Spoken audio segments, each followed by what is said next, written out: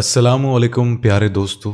आपने बहुत सारे वाक्यात सुने होंगे, लेकिन जो वाक्य आपको हम बताने वाले हैं, ये गैर मारूफ वाक्य है, यानी इतना मशहूर नहीं है। और हमें ये पूरा यकीन है कि आपने इससे पहले ये वाक्य कभी नहीं सुना होगा। इसलिए आपसे गुजारिश है कि अगर आप सच्चे आशिक रसूल है और उम्मद मोहम्मदी होने पर फख्र करते हैं तो इस वीडियो को एक लाइक करके इस वीडियो को आखिर तक ज़रूर देखें। हज़रत उस्मान गनी रज़ी अल्लाह तला का दौरे खिलाफत है। आप रज़ी अल्लाह तु अपने कमरे में बैठे हुए हैं। एक बंदा आपके कमरे में आता है और आकर कहता है अय अमीरुल मोमिनीन, हज़रत उस्मान रज़ी अल्लाह तु एक बहुत बड़ा हादसा हो गया है। हज़रत उस्मान रज़ी अल्लाह तु ने पूछा, क्या हादसा हो गया है? तो वो शख्स कहने लगा, अमीरुल मोमिनीन, मैंने शादी की थी एक औरत से और आज उस औरत की शादी को छह महीने मुकम्मल हो गए हैं और मेरी बीवी ने एक बच्चे को जन्म दे दिया है। अब मेरी आपसे ये दरख्वास्त है कि मेरी शादी को तो अभी छह महीने ही हुए थे, और ये बच्चा कैसे पैदा हो सकता है? अब इस वाक्य से पहले आम लोगों के अंदर ये बात पाई जाती थी कि छह महीने में बच्चा पैदा नहीं हो सकता। इसीलिए वो आदमी भी परेशान हो गया, और अपने उस बच्चे को देखा भी नहीं, और सीधा अमीरुल मोमिन के पास आ गया।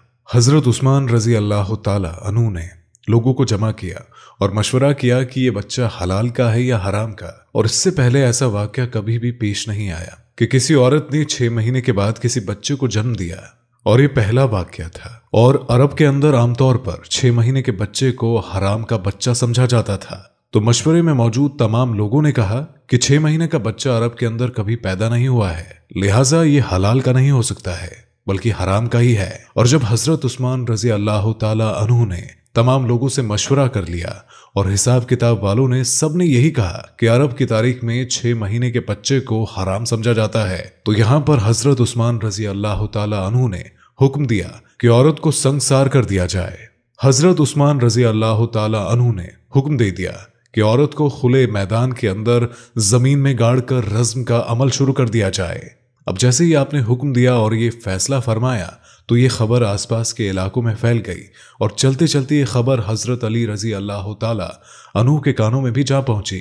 अब हज़रत अली रज़ी अल्लाह तनु उस मैदान के बजाय, जहाँ उस औरत को संघार किया जाना था, वहाँ पर न जाते हुए सीधा हज़रत उस्मान रज़ी अल्लाह तनु के पास जा पहुँचे और सलाम करने के बाद अमीरुल मोमिन से पूछा कि उस्मान, क्या आपने ये हुक्म दिया है? कि उस औरत को रज्म किया जाए, जिसने छह महीने का बच्चा पैदा किया है। तो हज़रत उस्मान रज़ी अल्लाह तु ने फरमाया हाँ मैंने ये हुक्म दिया है, क्योंकि उसने हराम का बच्चा जना है, और छह महीने में बच्चा पैदा नहीं हो सकता, और मैंने ये फैसला तमाम लोगों के मशवरे से किया है, और सभी ने ये मशवरा किया है कि छह महीने का बच्चा हलाल का नहीं हो सकता। अब हज़रत अली रज़ी अल्लाह तु ने इर्शाद फरमाया और कहा कि अमीरुल मोमिनीन, आपने ये गलत फैसला किया है। हज़रत उस्मान रज़ी अल्लाह तु ने फरमाया अली, मैंने अपना हिसाब और किताब लगाया है कि छह महीने का बच्चा हलाल का नहीं हो सकता। तो यहाँ पर हज़रत अली रज़ी अल्लाह तु ने फरमाया अय उस्मान, छह महीने का बच्चा तो कुरान से साबित है। अब हज़रत उस्मान रज़ी अल्लाह तु ये सुनकर परेशान हो गए कि कुरान से कैसे साबित है। फिर हज़रत अली रज़ी अल्लाह तु ने फरमाया कि, कुरान पढ़ो, देखो, हमल और दूध पिलाने की मुद्दत कितनी है? तीस हज़रत हज़रत उस्मान रज़ी अल्लाह तु ने कहा अच्छा ये तो ढाई साल बनते हैं। अब इसमें से छह महीने का बच्चा कैसे निकलेगा? अब यहाँ पर हज़रत अली ने फरमाया, दूसरी आयत पढ़ो, अल्लाह फरमाता है कि दो साल दूध पिलाने की तीस महीनों में से दो साल निकाल ले। और जब आप चौबीस महीने निकालेंगे तो पीछे छह महीने बचेंगे।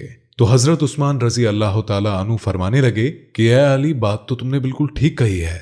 हज़रत अली रज़ी अल्लाह तु ने फरमाया, कयामत तक अगर किसी औरत का छह महीने का बच्चा बिस्तर पर पैदा हुआ है तो उसे हलाल का तस्वर किया जाएगा, हराम नहीं, क्योंकि ये कुरान की आयत के मुताबिक है और सारी दुनिया झूठी हो सकती है, लेकिन कुरान पाक की बात कभी भी झूठी नहीं हो सकती। हज़रत उस्मान रज़ी अल्लाह तु ने फ़ौरन सिपाहियों को दौड़ाया, अल्लाह ना करे कि उस औरत का संसार कर दिया जाए तो कयामत के दिन मैं उस्मान को क्या बोलूँगा? हज़रत उस्मान रज़ी अल्लाह तु रोने लगे और आपकी चीखें निकल गई और आप अपने आप से फरमाने लगे, कल कयामत के दिन अल्लाह को तू क्या जवाब देगा?